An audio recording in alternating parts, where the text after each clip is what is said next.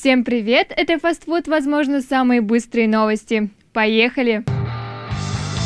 Картина французского художника-импрессиониста Клода Моне «Кувшинки» была продана на торгах аукционного дома Кристис в Нью-Йорке за 27 миллионов долларов. Один из компаний-разработчиков навигационной системы ГЛОНАСС, русские навигационные технологии, подала на заявление о банкротстве в арбитражный суд Москвы, сообщает ведомости. Анджелина Джоли заговорит на казахском фильме «Малефисента». Google собирается запустить специальные приложения для преподавателей и студентов на основе Google Drive, сообщает The Next Web. Веб-приложение Classroom позволит преподавателям упростить техническую сторону процесса обучения и перейти на безбумажную работу.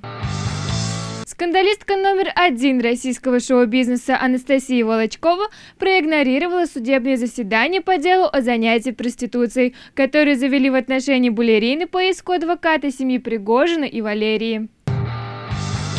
На этом у меня все. Пока.